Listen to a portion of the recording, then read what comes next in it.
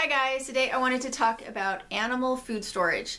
Now, a lot of us go through periods where we don't have a whole lot of money and so we're going and buying our animal feed one bag at a time or a few bales at a time and that is probably not a horrible thing to do. However, uh, going into winter, I really feel like it's important to have a winter's worth of food for your animals on your farm. That the reason being, it doesn't have to be some kind of like national emergency or anything like that. It could just be that the roads get blocked. What if there's a blizzard that blows through? Um, if you like, I have farmers that live across the road, so I could probably go over and get a few bales of hay. But I don't have a granary across the road, and so if I needed food for my chickens, I would be having to take it out of my own food storage in order to feed them if we had something like a blizzard come through. Now, for me, I don't worry about blending grains. I just feed my uh, my goats and my poultry uh, whatever grain happens to be the least expensive that year. I like to store it whole. This year I could only get it um, crushed. And I don't like that as much because I feel like it loses some of its nutritional value.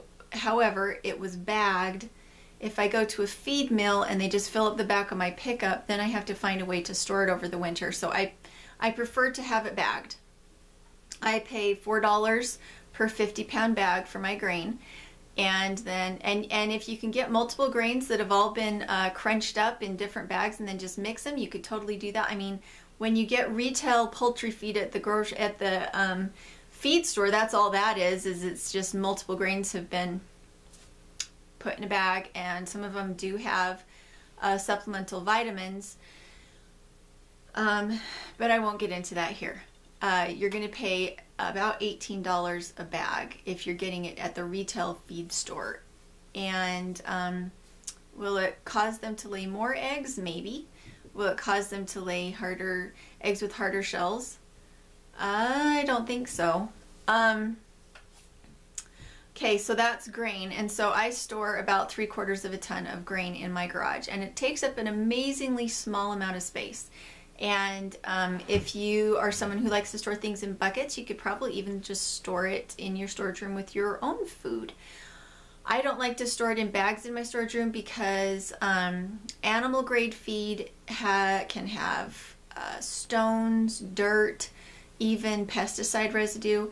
If it's for human consumption, they test it for the pesticide residue to make sure they're not poisoning people. And with the animal feed, they don't necessarily test it the same way. You don't want to use animal feed um, in your wheat grinder.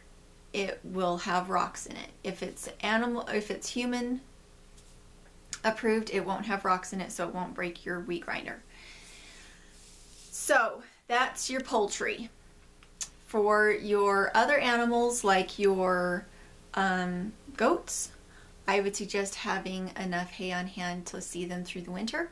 I have hay, enough hay on hand to be able to see them through until May because it will be May before we have a reliable amount of grass in our pastures. Our, our season starts very slow because we have a very late uh, frost-free date. Our frost-free date is June 15th. So we had to go a long ways. And by buying it all at the same time, even with hay, generally you get it for a better price. The same goes for salt licks or um, what else do I keep for my animals? Uh, if you need a water heater that you plunk into their water, um, it's good to have that before the really cold weather sets in. We don't use one. I just haul hot water twice a day because for one thing I have my animals in different pens and I can't afford to run that many heaters. And for the other thing, it is a reason to get up and move and, and get out of the house. trying to think if I store anything else. At this time of year, I like to stockpile pumpkins and feed them a lot of pumpkins here in the fall. They go to the chickens, the ducks, the rabbits, the goats, they go to everybody. And they're also a natural parasite cleanse. Um, and that's pretty much it. We, we, we're pretty simple when it comes to what we feed our animals. We don't really go into all the bells and whistles of premixed feed or specialized feed for specialized animals. We don't get goat grain that's $20 a bag. We don't get pig feed that's $25 a bag. We feed them whole grain. We cook it according to what breed they are, and we add things into it according to what breed they are, but we try to keep it really uh, affordable. So for the winter, it cost $85 to buy all the grain. For the milk grain that I give to the goats, and also for the scratch for the chickens and for the ducks. So I would I would suggest taking inventory of your animals, all the feeds that you need, and try to find them in their whole source because whole form because they will keep better as whole grains than they will as chopped grains. And um, salt licks, hay, uh, and make sure to keep it tarped so it's not turning moldy and, and getting wasted. And we will talk to you later.